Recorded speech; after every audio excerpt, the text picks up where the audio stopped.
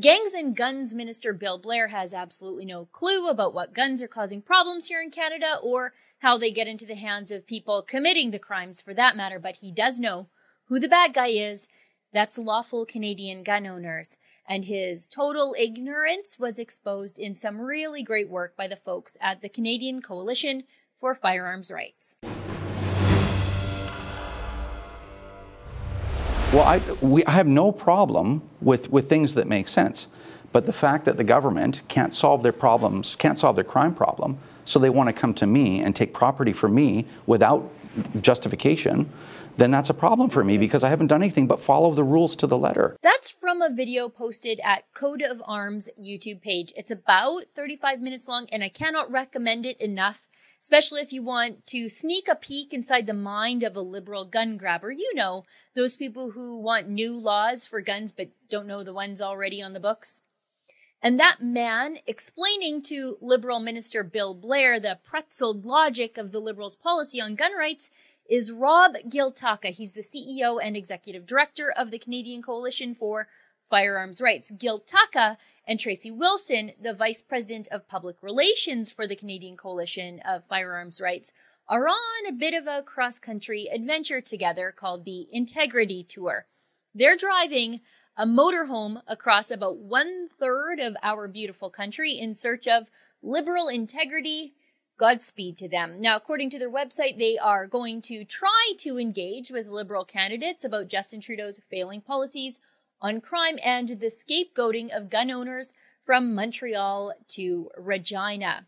And Rod and Tracey, well, they actually found Bill Blair at his campaign office. He's the minister in charge of border security and organized crime reduction. It's a fairly new ministry created just for Bill, but instead of focusing on, you know, border security and organized crime reduction, Bill Blair is targeting lawful Canadian gun owners with new legislation, changes to safe storage laws, and reclassification with possible confiscations.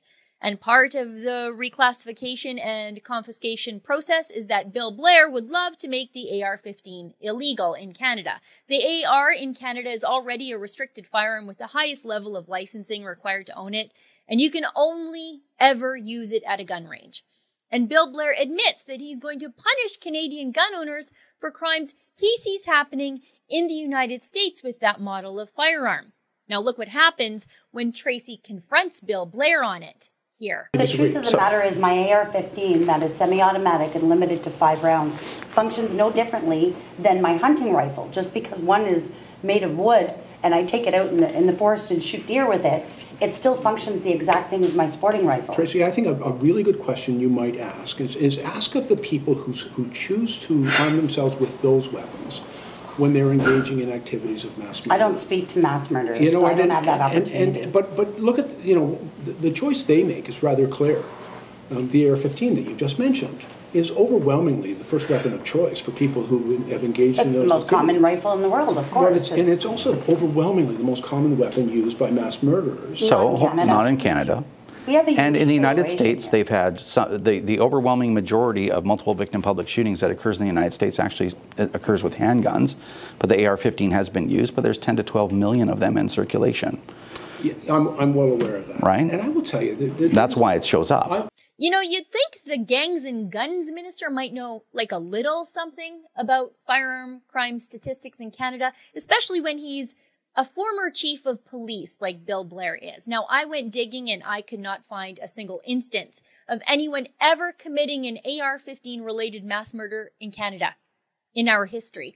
The best I could come up with, I found in an anti-gun article in theconversation.com. It details the history of the AR-15 in Canada. It reads, in 1982, so friends approaching 40 years ago for those of you keeping track at home, Saskatoon police shot an 18 year old hostage taker named Richard Landrie after a lengthy standoff.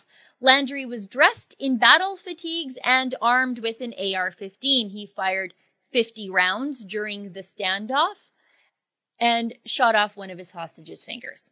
The other instances of AR 15 related crime detailed in that article refer to police finding them in the hands of gangsters who are, of course, possessing them completely illegally. After about 30 minutes of Bill Blair's face getting redder and redder and redder because he's finally confronted by people who actually know what they're talking about as opposed to the people who are completely ignorant of gun laws, you know, the people he normally preaches to.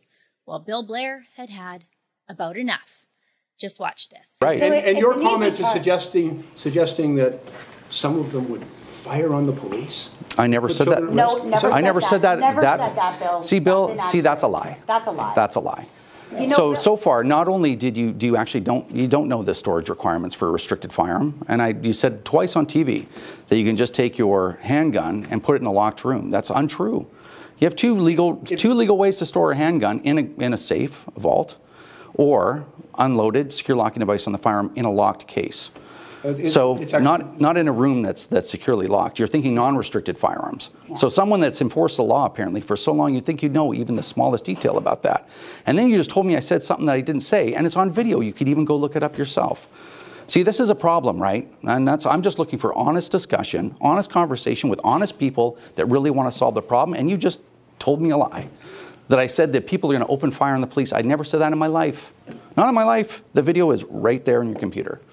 So I, I you know, I don't watch your videos, now- Rod. I have to. Well, apparently you just did. You just told me Well, that you did. I, it's been reported to me. Oh, so that- it's a- that- so it's- that- it's- you- it's you hearsay. said- No, but I've seen it written that, that you said implied that people would be, you know, children could be injured in, in, in, in the crossfire of this thing. And, and quite frankly, I think that No, I never, I never, I never said crossfire. and. And the problem is when you pay the media $600 million to tell your story, this is exactly what you get.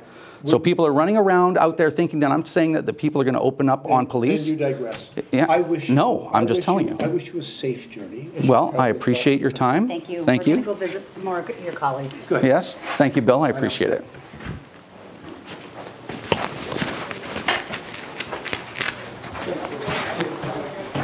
You know, it's really no wonder the liberals don't want to be questioned.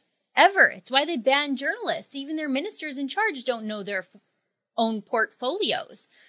Liberals' gun legislation relies on the fact that the general public has some level of ignorance of the current laws, and the liberals use that ignorance to attack lawful people who are following the letter of the law exactly as the laws are written.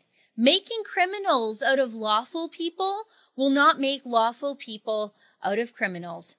For Rebel News, I'm Sheila Gunn Reid. Are you enjoying our coverage of the 2019 federal election campaign? You can see all of it at campaign2019.com. Now, unlike the mainstream media and the CBC, Justin Trudeau is not our sugar daddy.